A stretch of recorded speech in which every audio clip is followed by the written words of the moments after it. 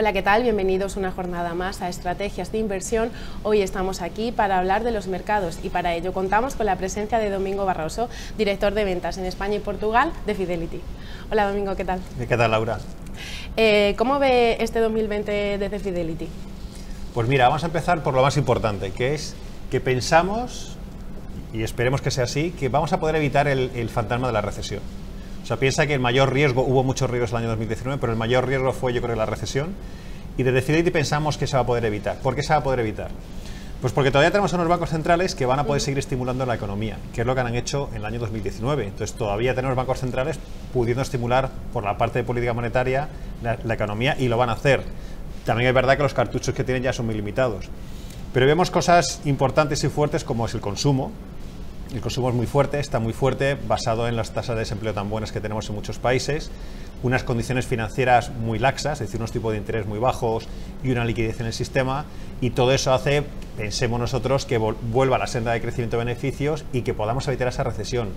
Que pueda haber una, una, un aterrizaje suave en el crecimiento económico para volver otra vez a recuperarnos, pero evitar esa recesión que tanto nos asusta y que recuerdas el año pasado, eh, en Alemania podía entrar en recesión sí. técnicamente, bueno, pues creemos que podemos evitar la, recesión. Y si miramos un poco a Europa, pues algo parecido. Es verdad que el crecimiento de Europa va a ser algo menor, 1 1,5 y medio frente al 3, 3 y medio a nivel global que dice el Fondo Monetario Internacional. Y yo creo que Europa se va a poner en tela de juicio si de verdad los gobiernos, que posiblemente haga falta, entran a jugar, a estimular la economía frente a los bancos centrales. Y ya lo dijo Christine Lagarde, ¿no? Que los gobiernos deberían entrar a empezar a estimular la economía con gastos públicos, con infraestructuras, o con medidas fiscales, ¿no? Pero posiblemente, ojalá, evitemos la recesión. Mm. Eh, el año ha comenzado con, eso, con uno de esos imponderables que a veces castigan a los mercados, como es la crisis sanitaria del coronavirus. ¿Se han dado algunas cifras, aunque todavía parece pronto para hablar de, de eh, datos exactos? ¿Cuál es vuestra estimación tanto sobre el impacto de la economía global como en los mercados? Pues tú me has respondido casi, es demasiado pronto para hacer una estimación. Yo creo que cuando hablamos con, con todo nuestro equipo de inversión eh, y le preguntamos a gente que está basada allí, incluso en China, nuestros analistas en China, directores de inversión en China, dicen todos lo mismo. Hay que ser muy cautelosos. Es un virus muy diferente, es un virus nuevo.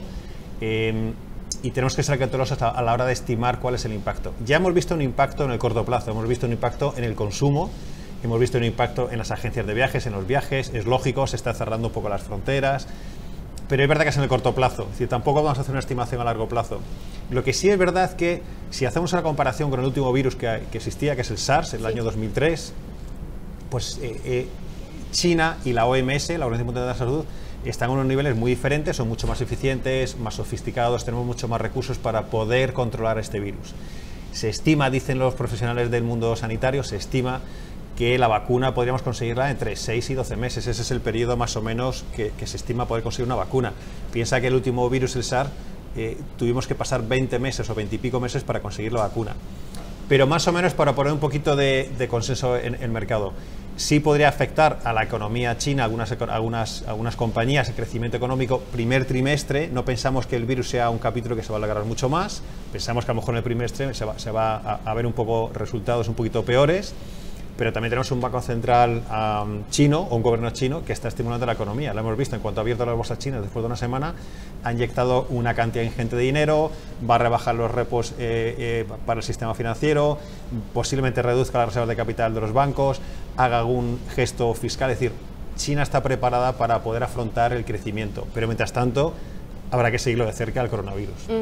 Eh, sin duda, el coronavirus ha sido un generador de volatilidad en esta primera parte del año. ¿Creen que 2020 puede ser un año de movimientos más erráticos en los índices de lo que fue 2019? Pues totalmente. Tú piensas que el año 2019 tuvo un índices de volatilidad, unos niveles de volatilidad muy bajos. O sea, el mercado fue muy complaciente. Había riesgos, todos recordamos muchos riesgos, tasas arancelarias, el Brexit, eh, las tensiones geopolíticas, pero sin embargo el índice VIX se comportó bastante bien, es decir, no hubo grandes momentos de volatilidad comparado con el 2018 que sí hubo.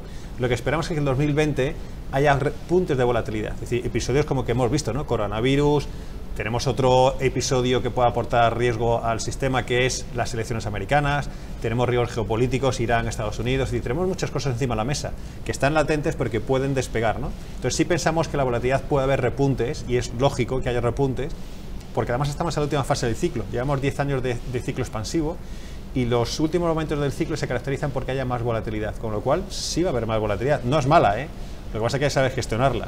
Mm, eh, precisamente esa es la siguiente pregunta. ¿Qué herramientas tienen los inversores para intentar minimizar o aprovechar esos bandazos en sus carteras? Pues siempre se puede hacer algo. Yo, yo lo que diría a los inversores es, aunque es verdad que es un, es un axioma que, que, parece que siempre está ahí, pues ahora mucho más. O sea, primero hay que ser disciplinado, hay que mirar el largo plazo, no dejarse llevar por el corto plazo, porque los momentos de volatilidad meten mucho, muchos movimientos a las bolsas o los mercados. Entonces, no sobre reaccionar, seguir con la visión a largo plazo. Eso es lo primero. Segundo, diversificar las carteras, tenerlas muy diversificadas globalmente. Tercero, buscar la calidad. Como decía, estamos buscando la calidad de las compañías. Cada vez más se busca más la calidad de las compañías. Compañías que tengan modelos muy sostenibles en el tiempo, incluso que sean muy, muy fuertes y muy sólidos en una recesión. Y el tercero, cuando, cuando entramos en fondos de inversiones, saber que ese fondo tiene una gestión del riesgo muy disciplinada. Y eso se mira por el, en inglés, perdóname, por el máximo drawdown o la máxima pérdida. Y es que lo que tenemos que ver es que la caída del fondo sea menor que la caída del índice cuando hay una corrección. ¿no? Entonces, si hay herramientas para gestionarla, así que hagamos todo lo posible para gestionarla. Uno de, de vuestros fondos, el Fidelity Global Dividend, es un fondo que busca sostenibilidad y crecimiento de los beneficios. ¿Dónde están encontrando estas compañías? Pues tú piensas que lo buscamos en el Global Dividend porque es un fondo que su mayor característica es encontrar compañías que paguen dividendos sostenibles y crecientes. No los mayores dividendos, pero que sí que sean sostenibles en el tiempo y que además sean crecientes. Con lo cual buscamos compañías de mucha calidad, con negocios ya muy sólidos, muy resilientes, muy fuertes y que históricamente, pues como los aristócratas del dividendo, ¿no? que los últimos 25 años han pagado dividendos. Tú piensas que 25 años ha habido crisis. Bueno, pues son compañías que siempre han pagado dividendos. ¿Dónde estamos encontrando compañías de ese tipo? Pues en sectores algo más defensivos. Yo creo que dos tercios de la cartera son sectores defensivos, sanidad, consumo básico, infraestructuras y una tercera parte de sectores más cíclicos. ¿no? Por ahí estamos encontrando compañías que pagan dividendos atractivos. Tú piensas que el fondo tiene un objetivo del 3% de, de capturar dividendo a nivel global pero hay compañías que lo que queremos es que sigan creciendo en dividendos. eh, entonces, ¿tienen alguno, ¿tiene el fondo algún objetivo de rentabilidad? ¿Cuál ha sido el retorno en los últimos años? Pues mira, eh, el año pasado se comportó bastante bien, pero muy parecido a la MSCI World, 25% más o menos. Pero eso, es un año. Yo me fijaría, como siempre que invertimos en renta variable, a tres años, a cinco años. A tres años es un primer cuartil en su categoría y a cinco años también es un primer cuartil. El fondo se lanzó en el 2012 y también seguimos siendo primer cuartil, es decir, lo hacemos bastante bien en comportamiento, en, retorno. Pero yo me miraría mucho la gestión del riesgo y es que tenemos la mínima pérdida esperada de la categoría, incluso haciéndolo mejor que el MSCI World, es decir, en caídas de mercado lo hacemos mejor que el MSCI World, la media de la categoría y somos el primer jugador de la categoría que lo hace mejor. Con lo cual, yo lo que diría es, si entramos en un momento de volatilidad que puede haber correcciones, cojamos estrategias que gestionen el riesgo. Uh -huh.